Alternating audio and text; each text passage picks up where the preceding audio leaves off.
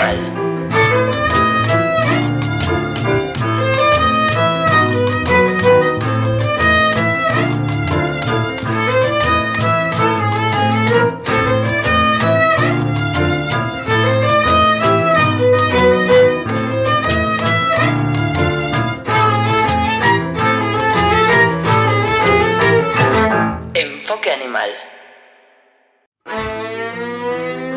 Mitad de la población española convive con alguno. Podemos verlos por la calle, en los árboles, en el campo, siendo protagonistas de alguna película o de algún documental y además cada vez más portadas de los telediarios. En muchas familias ocupan el lugar de nuestros niños. Los que vivimos con ellos sabemos que son criaturas inteligentes, con sentimientos, que piensan y que poseen una noción de sí mismos. Comprenden el entorno en el que viven, pueden sentir placer, dolor, así como diferentes estados de ánimo. Pero ¿qué pasa con los cerdos, con las vacas, con las gallinas, con los conejos? A pesar de que también vivimos rodeados de ellos, podemos ver sus cadáveres troceados y empaquetados en los supermercados, incluso en los más lujosos escaparates de las tiendas en forma de bolso, de zapatos o de abrigo. ¿Podemos estar seguros de que solo los animales que conviven con nosotros sienten? ¿Realmente podemos negar o justificar lo que les estamos haciendo al resto de animales? Pocas veces se nos invita a pensar sobre esto y comprendo vuestro recelo, pero solo os pido que seáis pacientes y que después de ver este programa dediquéis un poco de vuestro tiempo a investigar cómo viven miles de millones de animales. A mí sinceramente no me costó mucho decidir ser honesta conmigo misma, con mis ideas políticas y con mi ética. No pude seguir justificando la dominación basándome en la categoría de especie. Si realmente deseamos que exista justicia social y económica, si rechazamos la violencia gratuita y esa concepción del mundo donde impera la ley del más fuerte, lo único que podemos hacer es dejar de participar en la crueldad hacia el resto de animales. Soy Marian Castro, el debate está abierto. Bienvenidas y bienvenidos a Enfoque Animal. En el programa de hoy, Valerio Pino nos contará la historia de Flash. Está buscando un piso compartido. La sección cultural El Asa del Cubo, por Tony Isasis y Paula Rubio Infante. Conoceremos la cocina vegana de procedencia ecológica del restaurante Rayén. Nos acercaremos a las opiniones de los partidos políticos de la mano de Sergio Torres y visitaremos el albergue El Olivar de la protectora Animales con un nuevo rumbo. Enfoque animal. Como sabéis, existen programas de reeducación personal basados en los tres ámbitos que la psicología moderna establece, en el ámbito cognitivo, emocional y social. Pero no sé si sabéis que existen personas muy muy especiales que utilizan estos programas para curar el alma y el cuerpo de aquellos seres que han sufrido un maltrato extremo. Su rehabilitación suele ser lenta y no siempre se consigue, pero lo fundamental de todo es que al, terminar dicha rehabilitación encuentren a alguien que les ame y que les ofrezca un hogar. Por eso están buscando un piso compartido. Si tú tienes sitio en tu piso y lo único que te falta es alguien que te quiera, no lo dudes. No sabes el amor que un animal que ha sufrido puede llegar a dar.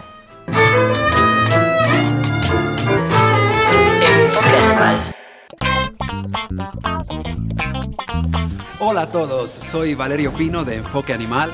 Esto es nuestro primer programa y vamos a ver a quién he venido a visitar.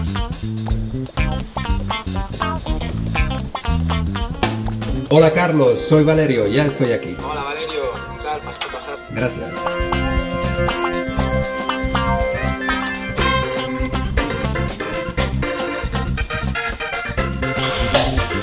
Aquí estamos. Hola, hola, hola Carlos. Hola Valerio, ¿qué tal? ¿Cómo estás? ¿Todo Muy bien, sí, encantado. Pues nada, Encantado. Pasar, pero, pasar. pero, ¿quiénes son? ¿Quiénes son mira, ellos? bueno, entrar y Vamos a ver, vamos a... Yo ya sé quién eres, pero me gustaría que le dijeras a, a nuestro público quién es Carlos Magariños. Vale, pues Carlos Magariños, eh, soy yo obviamente y nada, eh, yo soy educador canino y bueno, trabajo sobre todo con problemas comportamentales que tienen los dueños con sus perretes en casa y luego aparte de eso, bueno, soy tutorado auxiliar de técnico de veterinaria. También lo que hago mucho es eh, voluntariado con una residencia que se llama CUR, Animales con un nuevo rumbo, donde también colaboro con ellos adiestrando ciertos perretes que tienen más dificultad a la hora de, de ser adiestrados y de ser, perdona, eh, adoptados. Entonces estamos hablando de acogida. Sí. Eres, un- eres uno de estos seres humanos que acoge en Sí. su casa a, a los perros para que después encuentren una familia definitiva, ¿no? Eh, vamos a hablar de, de un caso, vamos a conocer a Flash, ¿no? La historia de Flash. Flash, ¿dónde estás? Flash, Flash. a ver si viene. Ay, mira, aquí está. Flashy. Hola, aquí, campeón. guapo. ¿Qué pasa? ¿Qué pasa? Pues mira. ¿Qué pasa? ¿Qué pasa? ¿Me besas? ¿Me das besos? Pues mira, este es Flash. Este lo dejaron, bueno, su anterior familia eh, lo tuvo durante seis años metido en un patio de 2x2 dentro de un taller. Sí. Y de ahí salió muy poquito. O sea, de hecho se alimentaba casi siempre de pan y se comía sus propias cacas. Una serie de personas se preocuparon por él, le sacaron de ahí y formó parte de la familia de, de Akur. Él se puso malo y le llevaron al hospital y estuvo un par de días. Como era invierno no podía estar en la residencia, así que me traje para aquí. Y luego una vez que estuvo aquí empezó de nuevo a ponerse malo y dejó de comer, dejó de beber agua, estaba, bueno, eran unos 15 kilos menos, más o menos lo que pesaba, las patas eran alambres y no se sostenía en pie. Entonces me lo llevé en brazos al veterinario y se quedó seis días allí metido. Y le estuvieron haciendo pruebas hasta que descubrieron que lo que tenía era el síndrome de Addison, que básicamente, un poco así a grosso modo, es que las glándulas suprarrenales al lado de los riñones pues no generan las hormonas para que generen corticoides, ¿no? una serie de corticoides. Actualmente se tiene que tomar una, una- dos pastillas por día, una por la mañana y otra por la noche, y por lo demás hace vida normal. Ha recuperado peso, muchísimo peso, está muy bien y bueno, pues sale todos los días, una hora, hora y media por la mañana y por la tarde también sale otra hora, corre y con los perretes también bastante bien, que al principio, bueno, tenía lo suyo. Se le ve muy bien, se le ve Sí. muy recuperado. Eh, queremos decir algo importante que eh, Flash busca una familia, ¿no? Eso es, lleva aquí con nosotros eh, más o menos siete meses y bueno, pues ya lo que es el adiestramiento con él está finalizado porque ya lo hace todo súper bien, quitando un par de cositas que bueno, también es propio de la edad y nada, pues ahora es buscarle una familia definitiva, Sí. eso sí, tiene que ser igual o superior a nosotros, Claro porque que si sí. no, Flash se queda Sí, aquí. Entonces, bueno, pues simplemente es darle paseos, mucho cariño y, y, bueno, pues hacer las cosas bien como había que hacer con todos los perros. Una cosa muy importante, eh, bueno, aparte de adoptar antes que comprar, eso es principal, vamos, primordial, eh, es importante que eh, aquel que vaya a tener un perro sepa qué tipo de perro eh, va a tener y sobre todo que se adecue a, a su estilo de vida, porque hay veces que la gente va buscando un perro que que luego mm, no es ni lo que esperaban y a lo mejor por su ritmo de vida no lo pueden tener. O sea, no puedes tener a lo mejor un pastor alemán que necesita una serie de ejercicios, un border collie, y tú estar en casa eh, 10 minutos al día o 20 minutos al día, porque entonces ese perro va a sufrir un montón y al final va a generar una serie de problemas. Entonces, importantísimo eh, sobre todo el tipo de perro que vas a tener y luego por supuesto sacarle un mínimo de media hora 40 minutos por la mañana eso es fundamental Eh, ¿Quién te puede eh, ayudar, asesorar y guiar eh, para que todo pueda funcionar, ser, ser funcional y que todo pueda salir bien? Vale, eh, si tú nunca has tenido un perro, obviamente hay una serie de páginas donde te pueden, te pueden o bien asesorar o tú puedes buscar información, pero si no, hay unos, unos cuantos educadores caninos que seguramente que en internet lo vas a encontrar, que, se, habla acerca de, de donde vivas. En todas las protectoras, siempre que vas a adoptar un perrete, hay, hay una visita previa a la familia para hacerle una serie de preguntas para ver si es viable ese perro con esa familia. Porque en las protectoras de lo que se trata es de, de encontrar un dueño para, para ese perro, pero eh, no puede ser cualquiera. Entonces eh, hay una visita previa donde se ven las condiciones y luego, pues bueno, eh, hay un seguimiento para ver si se están haciendo adecuadamente las cosas con ese perro que ha llegado a, a la casa. Sí. Y obviamente les puedes preguntar a ellos que le van a responder seguro. Genial. Eh, más tarde me vas a acompañar Sí, por eh, supuesto. en una de estas maravillosas protectoras. Entonces, eh, más tarde eh, no os mováis porque vamos a descubrir eh, una protectora. Eh, Carlos me va a acompañar, eh, así que nos vemos también más tarde en un rato. Estoy segura de que este espacio no te dejará indiferente. Está dedicado a la música, a la imaginación, al arte, a la creatividad. Podrás colaborar con la participación de un videoclip de tu creación. Bienvenidos y bienvenidas a El Asa del Cubo.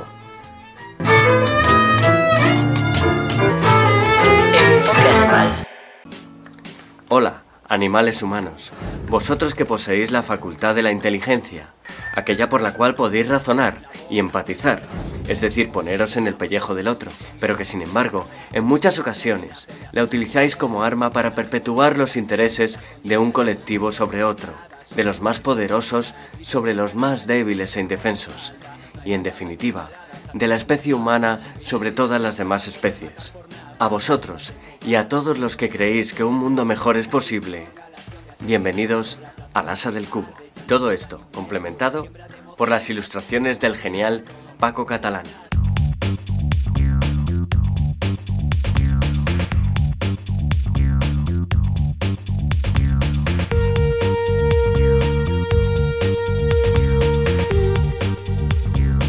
Hoy, en el Asa del Cubo, Despacito y Buena Letra, un grupo de rap madrileño compuesto por DJ Rasca y Gana, Risi, Getafe y Carajo Clarke, autor de la canción Toro, de su segundo álbum Vértigo.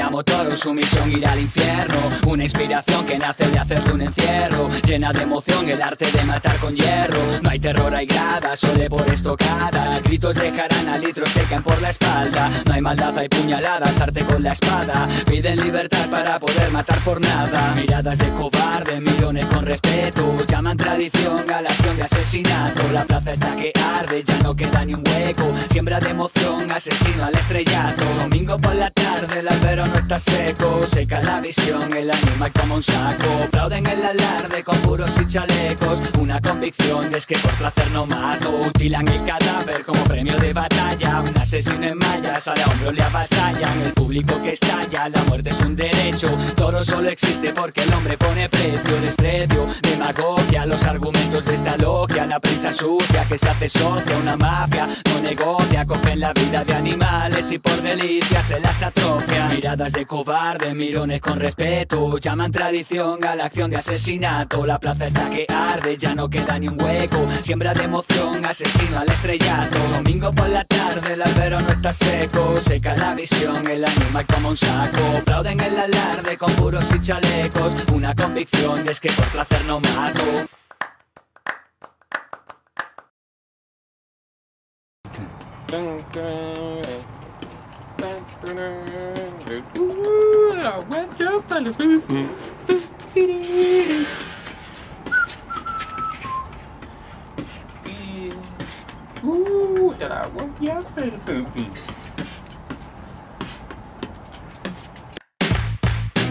Hay un eslabón al que el hombre puso cuernos. Le llamo toro, su misión ir al infierno. Una inspiración que nace de hacerle un encierro. Llena de emoción el arte de matar con hierro. No hay terror, hay gradas, sole por estocada Gritos dejarán a litros que caen por la espalda. No hay maldad, hay puñaladas, arte con la espada. Piden libertad para poder matar por nada. A continuación, Videominuto Animal, una iniciativa abierta a vuestra participación. Podéis enviar vuestros vídeos a enfoque con K, punto, animal, arroba gmail.com, de duración un minuto, en cualquier estilo, y temática animalista. El primer vídeo, Tapa Negra, de Eduardo Pinel Sierra y David Saavedra.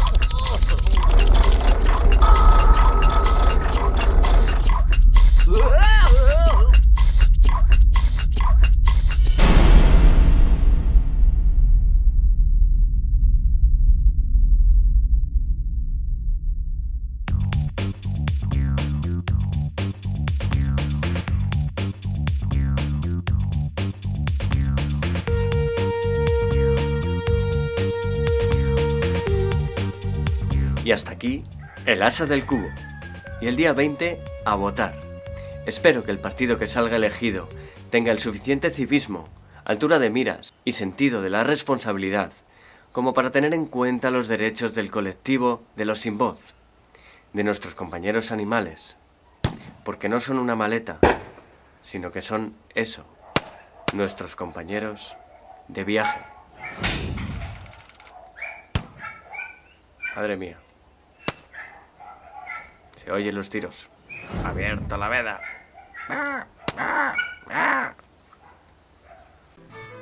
Nosotras creemos que los seres humanos debemos decidir dejar de consumir animales sin ser coaccionados para ello, pero también creemos que debemos ser informadas suficientemente. Solo en España, en el periodo de un año, hemos consumido 824 millones de animales, sin contar los peces. Quizá debería recordarte que la Organización Mundial de la Salud ha considerado la carne procesada, hamburguesas, salchichas, etc., junto a la carne roja, como alimento carcinógeno para los humanos y que han sido incluidos en la lista de sustancias más tóxicas para la salud, como el humo del tabaco, el plutonio, etc. ¿No deberíamos aprender a comer de una forma más ética y saludable? Para mostrarte lo apetitosa y sana que es la cocina vegana, te invitamos a que entres en nuestra cocina sin dolor. Enfoque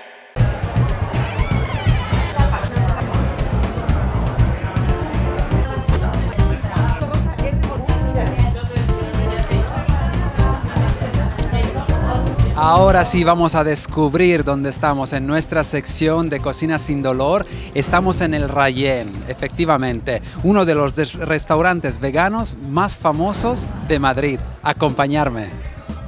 Hola Noemi, la dueña. ¿Cómo estás? La dueña del Rayén, Noemi, muchas gracias. Oye, eh, para empezar tenemos que decir ya una cosa importantísima, claro, porque eres italiana, También. como yo, entonces de Sicilia, por favor, y yo de Calabria, o sea, súper cerca, vecinos. ahí, somos vecinos. ¿Cómo stai? Bene, grazie. ¿Tú? Molto bene, molto bene. Vamos a, a enseñarle italiano también a nuestro público de Enfoque Animal. Eh, cuéntame, eh, porque hoy es una fecha muy especial, por favor, de tu restaurante vegano aquí en Madrid. ¿Qué pasa hoy, este 13, día 13? Día 13. Estamos celebrando los dos años de Ryan Vegano, así que tuvimos una charla, tendremos música, tendremos mañana mercadillo y estamos ahí de celebración. Pues felicidades, tanti auguri. Pues ya empiezan a llegar los clientes. Eh, buenas noches, buenas noches. Estábamos viendo un poco aquí mm, lo de compartir y de una manera como si fuera un menú de degustación o... Noemi, cuéntame un poco el, el menú que tienes en Rayen y pues, vamos a ver también qué van a pedir, ¿no? Mira, tenemos siempre menús que cambian cada temporada, porque además de vegano tenemos producto ecológico y tenemos dos cartas que variamos de una semana a otra para ofrecer un abanico más amplio de platos. Hoy de los platos estrella tendremos las mini hamburguesas, los momos tibetano, que son una empanadilla rellena de espinacas al vapor muy ricas. Tenemos aguacate relleno de quinoa con verduras salteadas, con tofu. Y los platos son varios. Tenemos plato crudo, plato cocinado, plato con más especie, plato más suave, muchos platos sin gluten. Así que para todos los paladares. Mamma mía, se, me hace la, la, boca agua, ¿no? Qué rico. Vamos a entrar en la cocina del Rayen, por favor. Ay, qué olor. No, no, no, no, no. Esto no puede ser. Chefs, muy buenas noches, ¿qué tal? ¿Cómo estás? ¿Cómo te llamas? Paulo. Paulo, el chef Paulo. Y bueno, por favor, esta belleza de mujer. Nicole. Nicole. Bien, estamos en la cocina del Rayen. Ya no voy a salir de aquí, yo creo. ¿Qué estamos preparando? Contarme, por favor. Esto se llama momos tibetanos. Estas son unas empanadillas rellenas de espinaca y que se especian con unas especias eh, que las compramos allá, de hecho. Y veo ahí también una ensalada muy, muy con una pinta exquisita. ¿De qué es? La ensalada de kale. Y la estoy masajeando porque la kale es un poco espesa, dura y hay que ablandarlo un poco con las manos. Mira esto, por favor. ¿Quién me cuenta, por favor, lo que llevan las hamburguesas?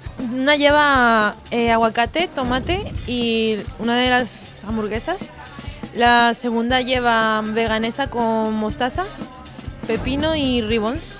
Y la tercera lleva una pasta de tofu miso y pickles de jengibre y cebolla caramelizada. Ya veo en la sartén la cebolla caramelizada, por favor, que tiene un olor. Me encanta la cebolla caramelizada. La ensalada va, va tomando su la pinta final, yo diría, ¿no? Pues ya la el acabado final. Queso de anacardos queso de anacardos. Chef, yo le voy a pedir una cucharita porque yo quiero probarlo, este queso de anacardos. Muchas gracias, por favor. Mm, mm. Esto es buenísimo. ¿Y ahora qué le pones? Esto es un pesto, es un pesto, ah, claro, de basílico. Ajá. Este toque, este toque. Es sésamo negro. Sésamo negro.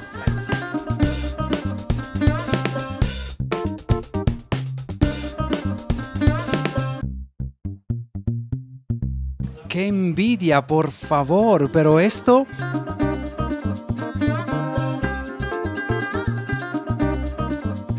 Bueno, aprovechar, por favor, y disfrutarlo también para, para nosotros y todos los telespectadores de, de Enfoque Animal. Aprovechar.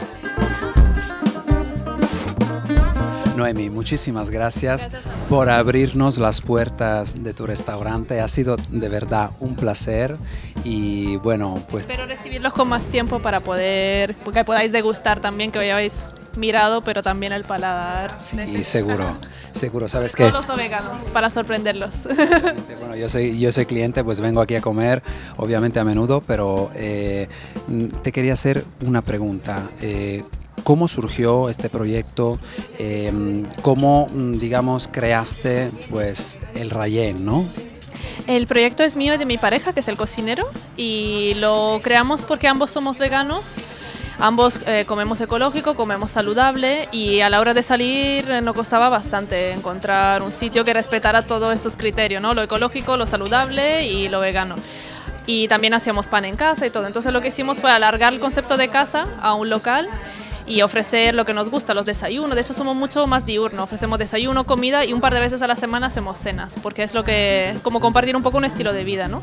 Y así por eso decidimos crear este local y ha tenido muy buena acogida me alegro mucho.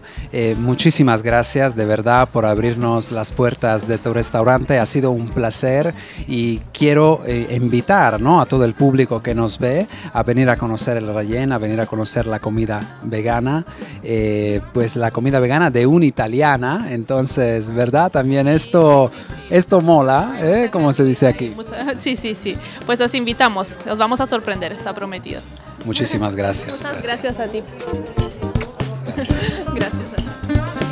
La ideología es ese conjunto de pautas sociales y culturales que se transforma en la herramienta con la que reconstruimos el mundo diariamente y nunca es neutra.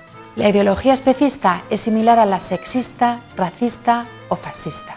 Decidir que una opresión es válida y la otra no es limitar conscientemente la propia comprensión del mundo. A pocos días de las elecciones generales hemos preguntado qué medidas de protección animal llevan los partidos políticos en sus programas, recordándoles que nosotras también votamos.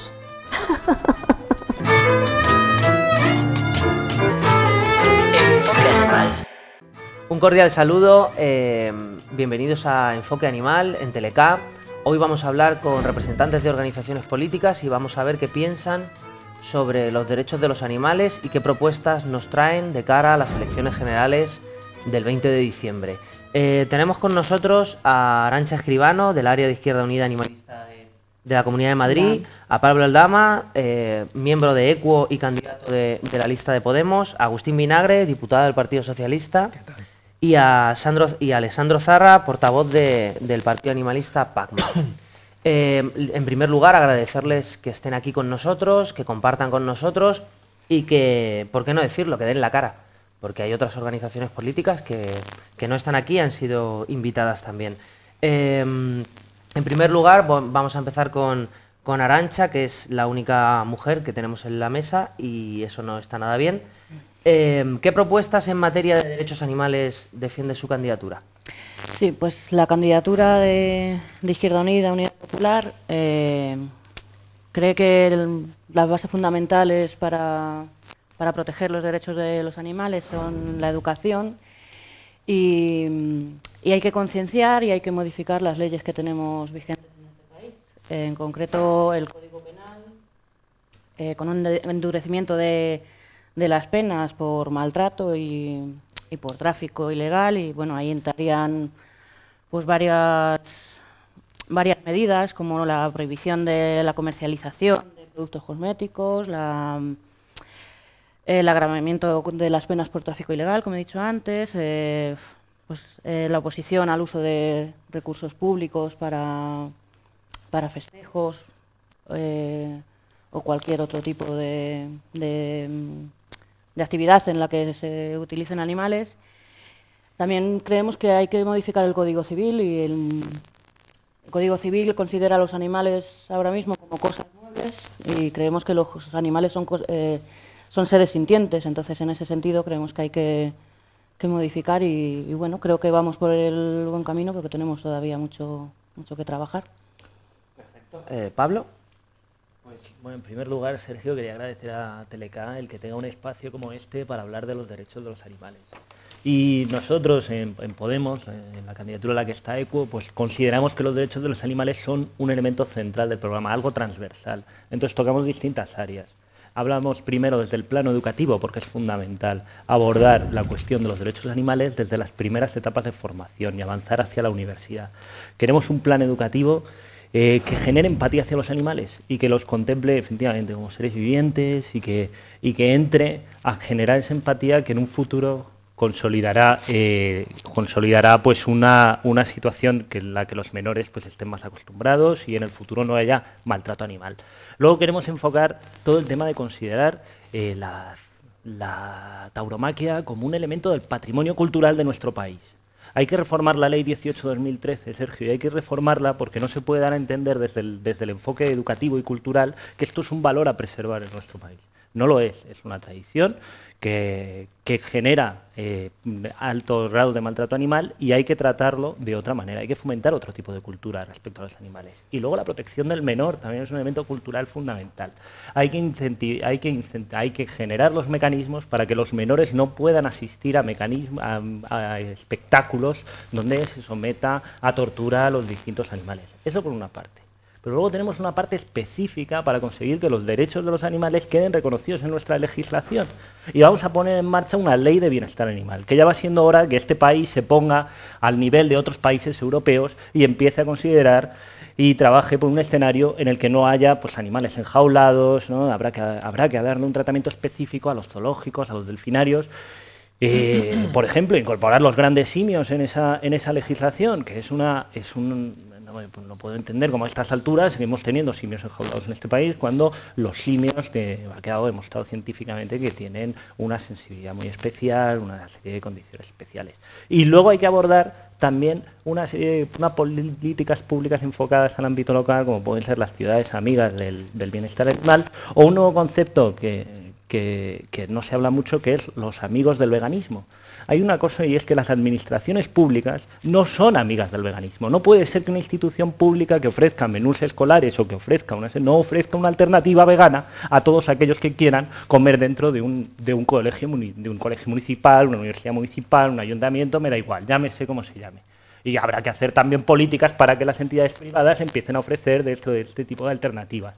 No puede ser que castiguemos a los veganos y no puedan consumir con el resto del sistema marginal de la sociedad porque no tienen espacios reales. Y luego hay que abordar el tema penal y punitivo, porque lo que no puede ser es que haya maltratadores que no tengan consecuencias penales graves y tenemos, que, y tenemos que castigar duramente el tráfico de animales, tenemos que castigar el maltrato. Esos son los dos ejes en los que nosotros pensamos que hay que incrementar las penas fundamentalmente. Y luego, por último, no sería una política completa o central si no hubiéramos tocado todo el aspecto económico y fiscal dentro de nuestro programa, contemplando los derechos de los animales como una parte fundamental de la política económica y fiscal del programa de Podemos.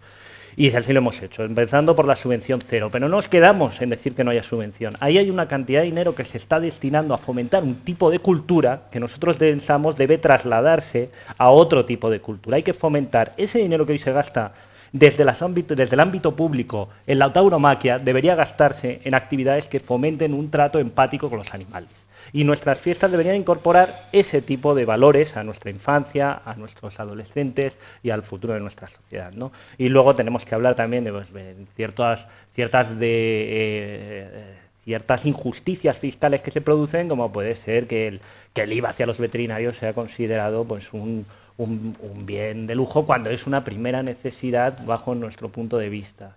Y, es que hay algo, hay algo fundamental, ¿no? Y es que eh, eh, las mascotas son algo que, ayuda en la educación de los niños. Hemos empezado hablando de educación y me gustaría terminar, ¿no? Eh, pues si nosotros no, no, no, consideramos que esto es una primera necesidad, fiscalmente no estamos realmente haciendo una política que tenga en cuenta esa educación en, en valores, en valores animalistas o de respeto a los animales. Esas serían muy resumidas porque tenemos muchas más y quería solo tocar además, transversalmente. Además así para que los, los, compañeros de la mesa también puedan continuar. Agustín, que...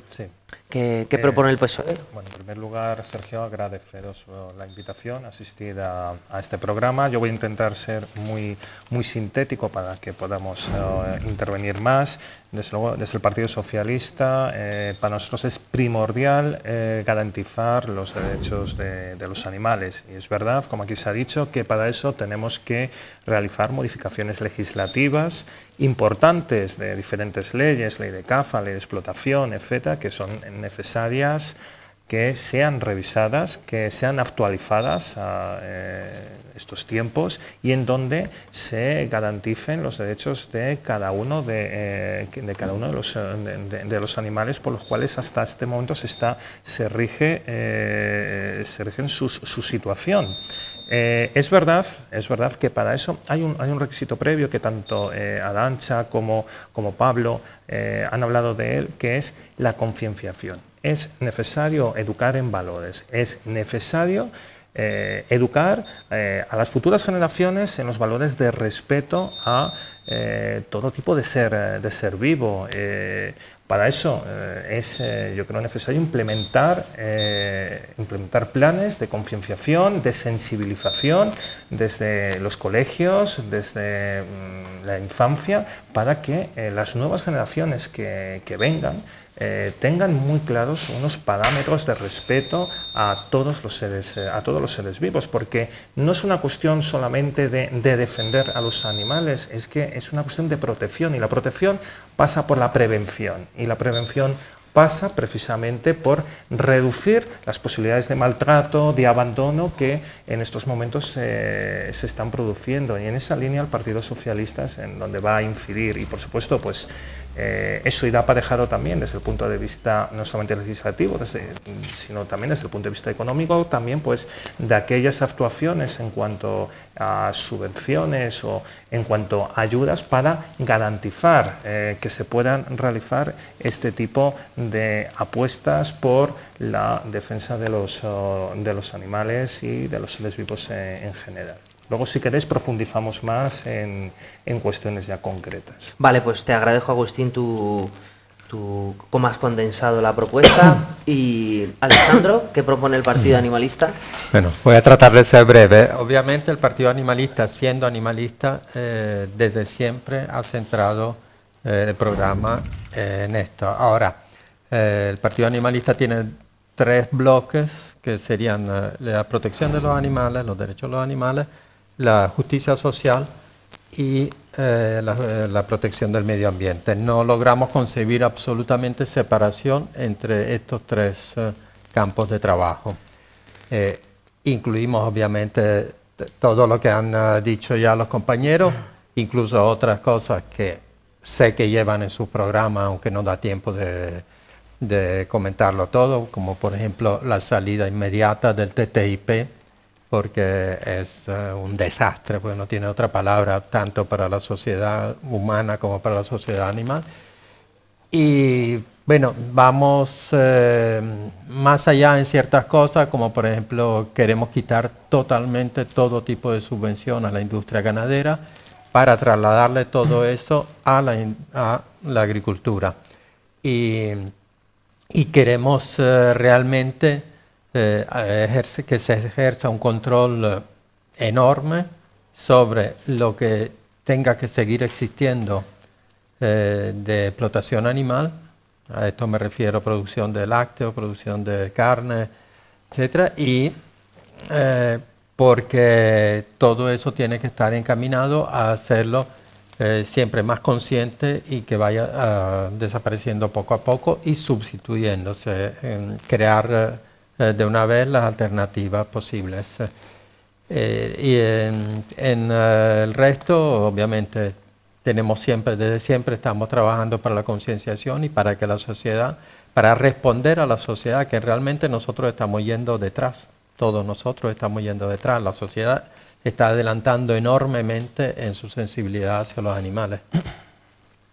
Pues muchas gracias y como dice Sandro, es, es cierto, ¿no? La sociedad va, muy por delante de, lo que van los, las organizaciones políticas y creemos que además en estas, en estas próximas elecciones es una gran oportunidad para, para equiparar ese, ese nivel de, concienciación ética sobre los derechos de los animales. Ahora os voy a pedir una, una respuesta más o menos breve sobre una pregunta muy concreta.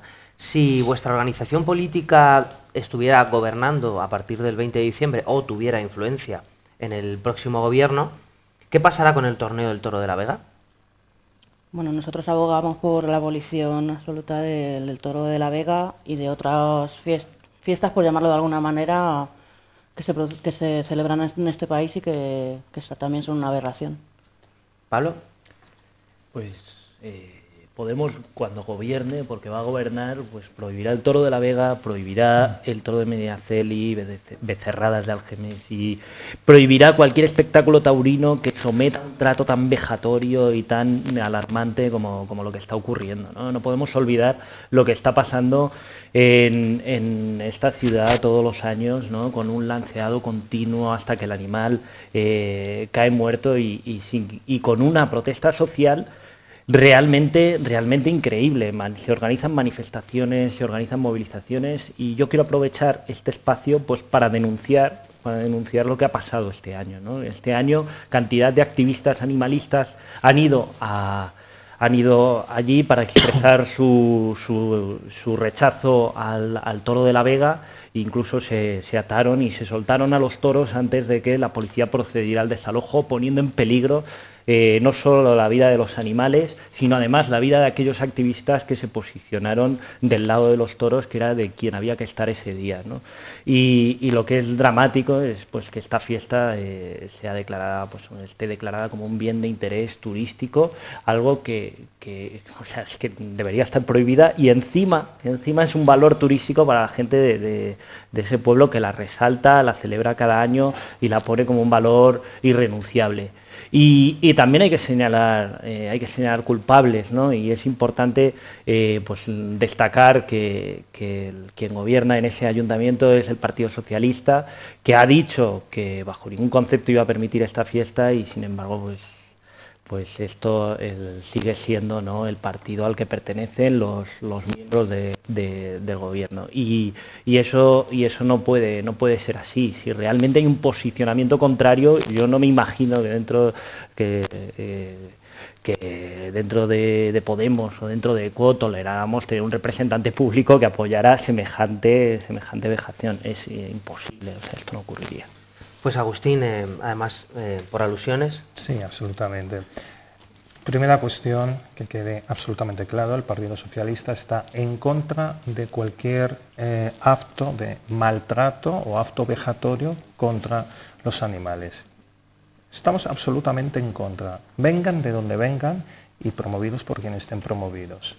¿Cuál es el problema aquí? Es muy sencillo. Eh, hay vacíos legales que están posibilitando estas y otras situaciones que se están dando en muchas localidades, desgraciadamente, en nuestro país, en donde, pues, al amparo de esos vacíos legales o de eh, ausencia de legislación, se eh, este tipo de actos.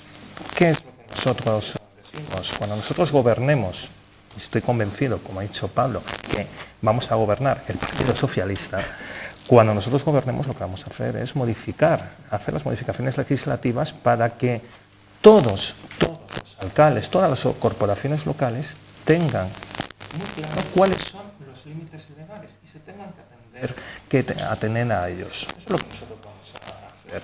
Clarificar la legislación, hacer una legislación clara, concisa y contundente en relación a este tipo de actos. De tal manera que no haya vacíos legales cuales se puedan eh, agarrar ninguna corporación, ningún, ninguna corporación municipal y tengan simplemente que hacer una cosa que es fundamental y esencial en cualquier Estado de Derecho, cumplir la ley, ni más ni menos.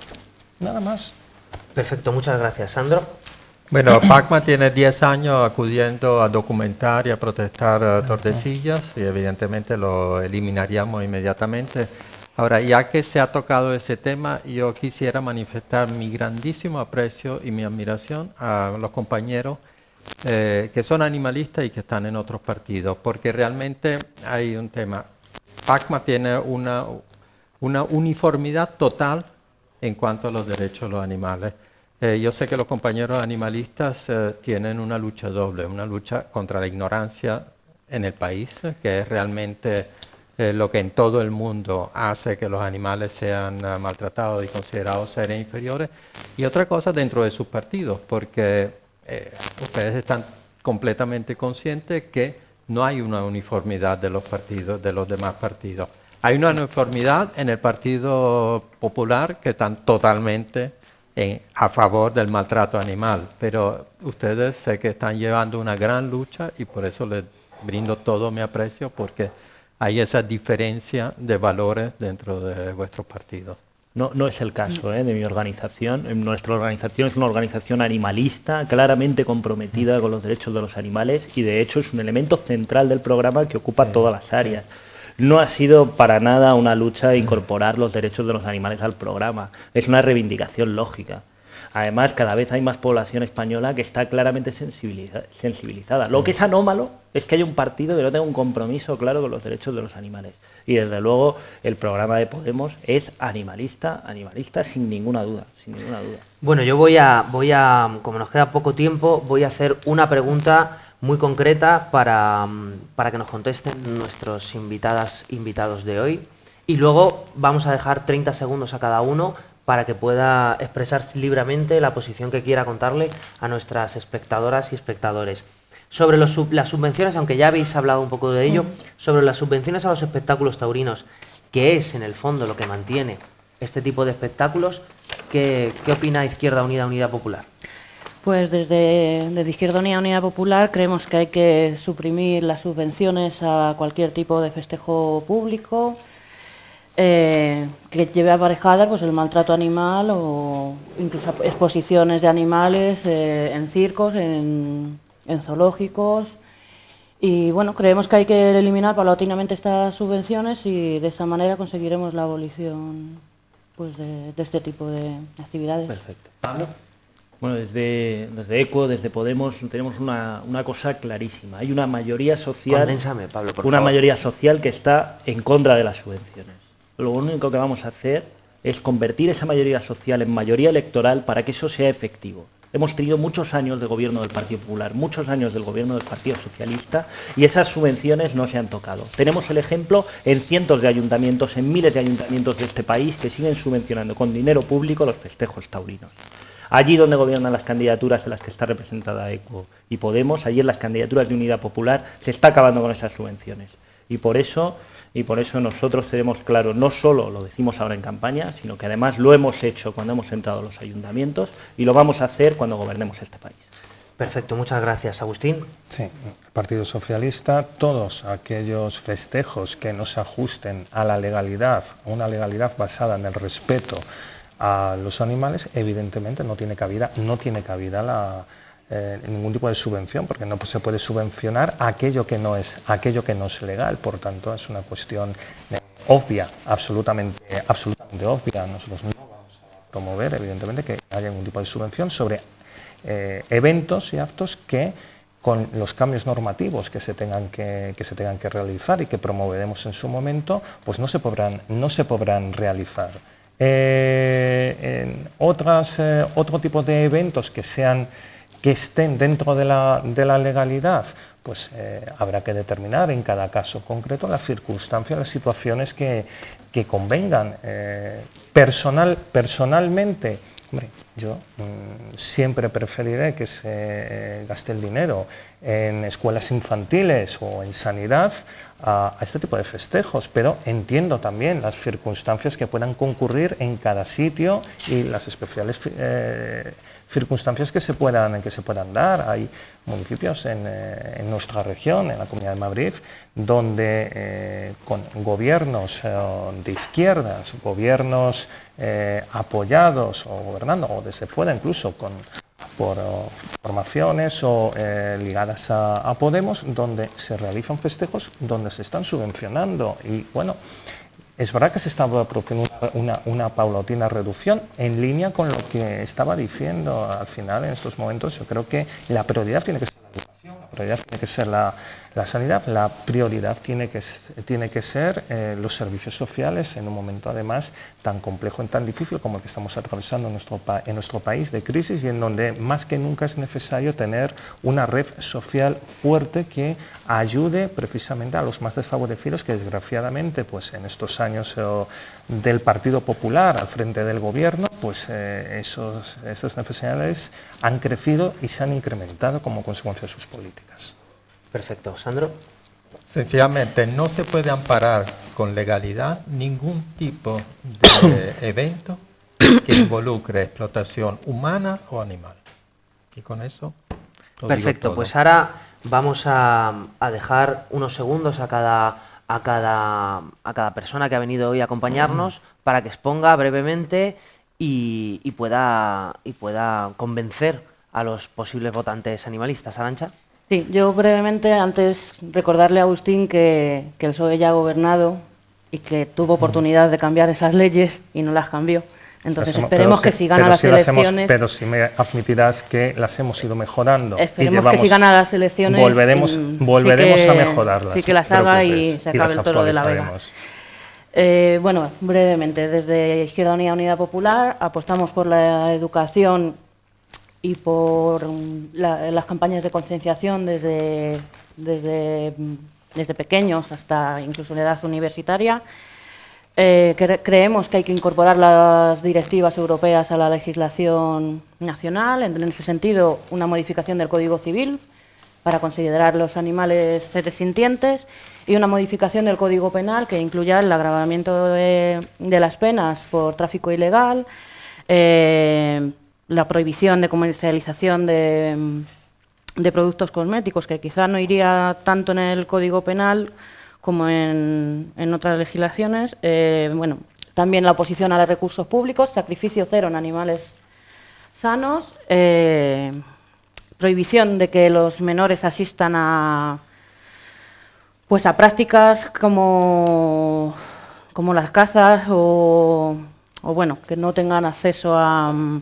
Concretamente, perdón. Sí, y, y, bueno, unas líneas rojas que, que, creemos que no hay, no hay que pasar y que pondríamos en marcha si, ganáramos la solución. Muchas gracias, Pablo.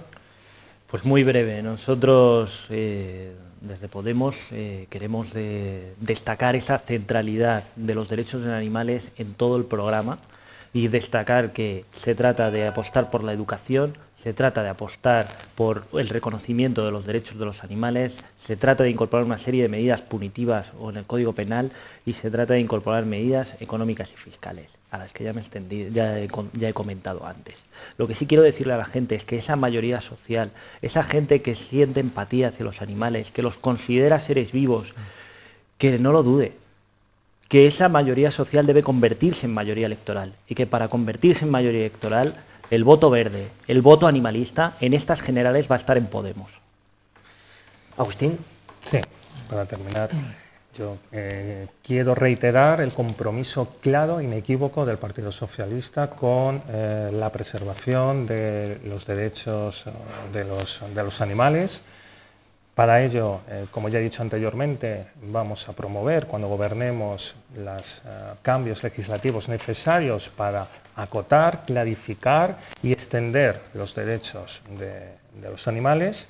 Un ejemplo eh, se está dando aquí en la Comunidad de Madrid ante el proyecto de ley eh, impulsado por el Gobierno de la Comunidad de Madrid, proyecto de ley de eh, protección de los animales de compañía, que a nosotros nos parece claramente insuficiente. El Partido Socialista va a presentar las iniciativas necesarias para mejorarlo, y de hecho, eh, estando de acuerdo con esa ley en cuanto a eh, lo que supone de sacrificio cero, compromiso que ya el Partido Socialista al término de la anterior legislatura manifestó eh, apoyando una iniciativa legislativa popular en esa, en esa dirección, digo, para, dejando claro que estamos de acuerdo con sacrificio cero, lo que queremos es que se pueda aplicar esa reforma. Y el compromiso del Partido Socialista está claro en la medida en que vamos a presentar enmiendas a los presupuestos generales de la Comunidad de Madrid para incrementar sustancialmente la partida presupuestaria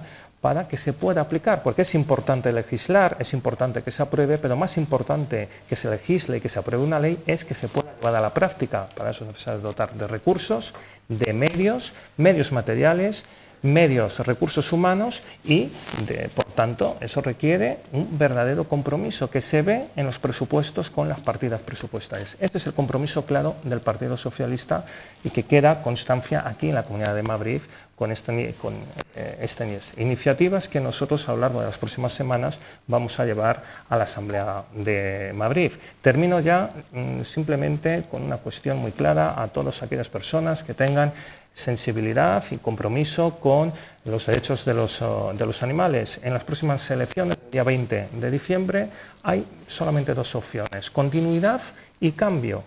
Continuidad, Mariano Rajoy, cambio, eh, en este caso, es lo que simboliza nuestro candidato Pedro Sánchez, porque cualquier otro voto que no sea el Partido Socialista Obrero Español va a conducir a la continuidad de Mariano Rajoy. Por tanto, que la gente día 20 de diciembre, antes de depositar su voto, que valore que quiere, continuidad o cambio. Nada más. Muchas gracias. Sandro. Bueno, eh, lo que desde PACMA podemos garantizar es que desde el primero al último de todos los militantes estamos comprometidos totalmente con los derechos de los animales y de las personas. Por lo tanto, eh, le pedimos a la gente que no se quede en su casa, que vaya a votar y que antes de hacerlo, que lean los programas. En nuestro programa son solo 50 páginas y van a ver que no hay ningún eh, mm, detalle que conduzca a la prolongación de la explotación y del maltrato de los animales. Eh, por lo tanto, quiero que todos piensen y, que dejen de pensar que el voto eh, es útil, eh, que el voto de Pacman no es útil, que el voto útil puede ser el que tenga mayores esperanzas de tener mayor representación. El voto a Pacman siempre va a ser útil porque Pacman va a ser siempre una referencia para que tanto la sociedad como todos los demás partidos se involucren en la defensa de los derechos de los animales. Pues muchas gracias. Em, desde Enfoque Animal no somos para nada objetivos en este sentido.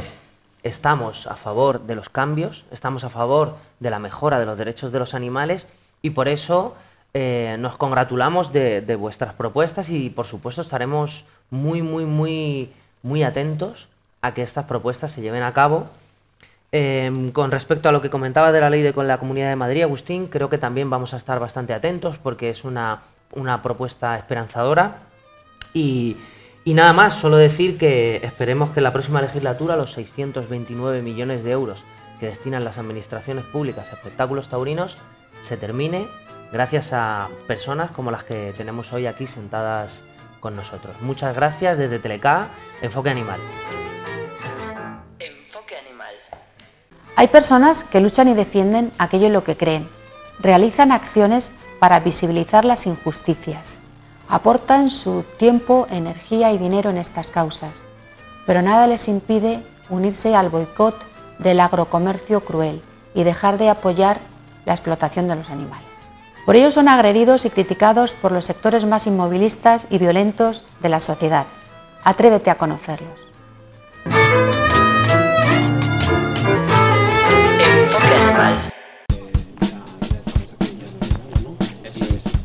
Bueno, eh, querido público, ya hemos llegado a la protectora ACUN y ahora Carlos me va a presentar a Marta, una de las voluntarias, y así vamos a conocer la protectora y muchas más cosas. Acompañaros. Te voy a presentar a Marta. Hola Marta. Hola, Soy Valerio Pino de Enfoque Animal. Encantada. Bienvenidos. Encantado, un placer. Un placer estar aquí. Eh, vamos a, ver la protectora. Me enseñas eh, todos los perros que hay, la protectora, y me hablas un poco de cómo funciona eh, una protectora, ¿no?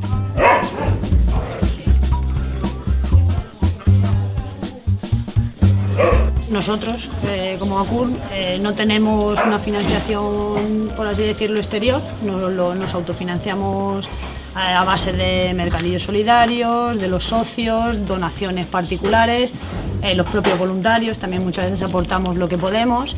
Y bueno, pues intentamos, no, tenemos ninguna subvención ni, ni por parte de la comunidad, ni por parte de ayuntamientos, ni nada, entonces, pues más o menos dentro de las posibilidades que tenemos los voluntarios y la junta directiva a la hora de buscar, pues, sobre todo eventos, mercadillos solidarios, pues eh, poquito a poco pues nos autofinanciamos, por así decirlo. ¿Cuántos perros hay, por ejemplo, ahora mismo en NACUL? Ahora en NACUL creo que exactamente, exactamente, aquí en la protectora creo que contaremos con unos 88, 88 perros, más unos 110 gatos, más luego las casas de acogida juegan un papel importante. Importantísimo, importantísimo las casas de acogida. Cuando llega un perro eh, abandonado, eh, maltratado, eh, ¿cómo se le recibe y cuáles son, digamos, todas las atenciones que hay que tener para la recuperación de este animal?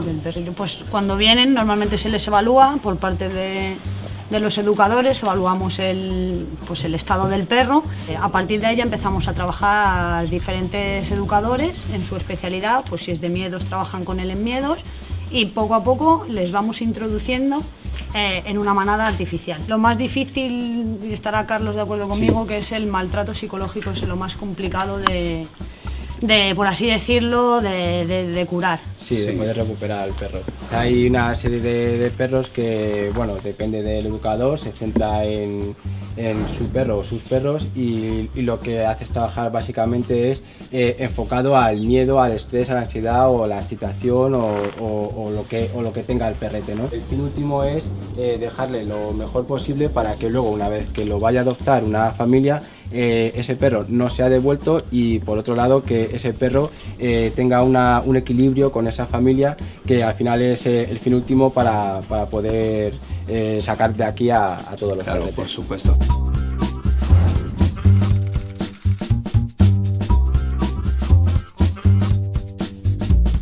¿Cuál, cuál es el, el perro, digamos, que, que os llega eh, con más problemas, con más maltrato, con, en una situación, digamos, eh, más difícil, ¿no?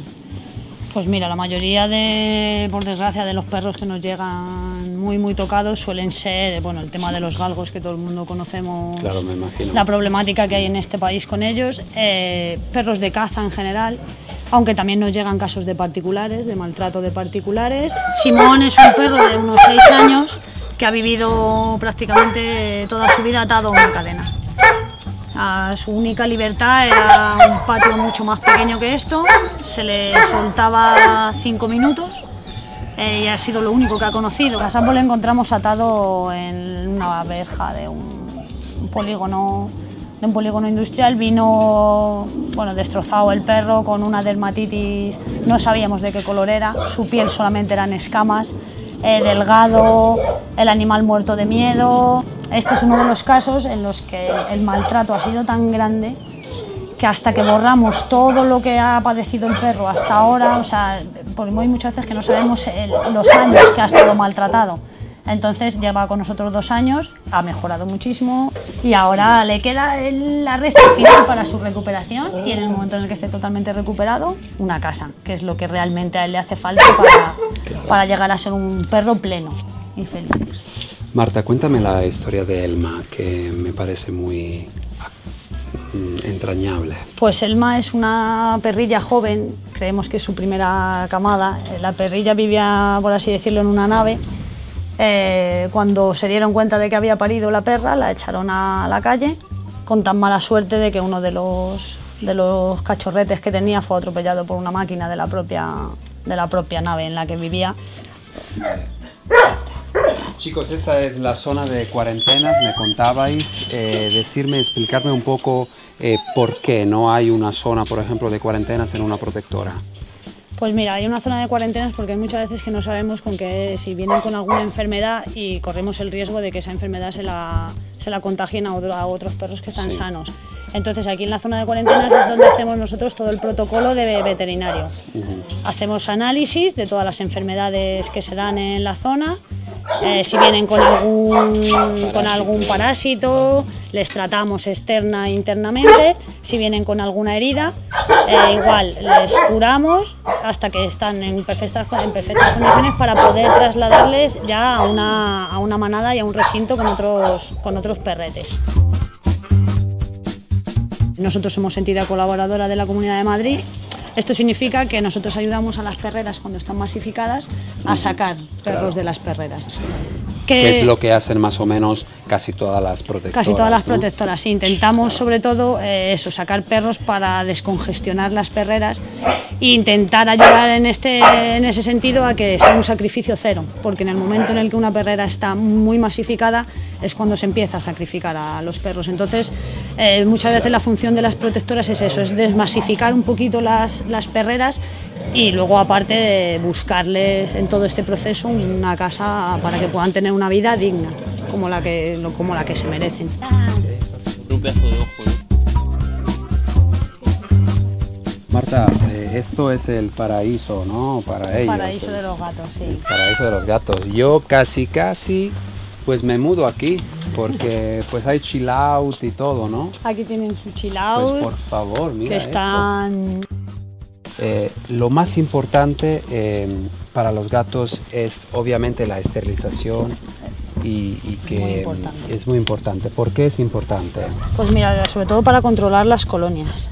Sí, exacto. sí. Sobre todo para controlar las colonias, lo- porque si no se nos de- se, se descontrolaría. Hay protectoras que lo que se dedican es a esterilizar gatos callejeros y luego les vuelven a soltar. Ujú. Esto lo que hace es que las colonias de gatos callejeros no se descontrolen Sí. y tener un control aparte de plagas. Son los gatos callejeros, eh, que la para que la gente lo sepa también, ayudan muchísimo al control de plagas de ratas, ratones y otros insectos como cucarachas y otros animalillos. Entonces, eh, coger nota de toda forma en la web eh, de teleca.org, después podéis volver a ver el programa todas las veces que queráis eh, para volver a escuchar todos los consejos que está, que nos está dando Marta aquí en La Protectora.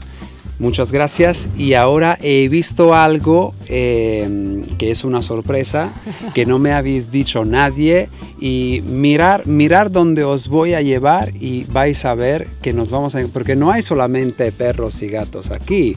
Entonces venir conmigo que ahora vais a ver la sorpresa. Vamos. Mirar por favor la belleza de mujeres, no sé si hay hombres también, que hay aquí. Por favor, mirar esto. Qué bellas. Hola, ¿qué pasa?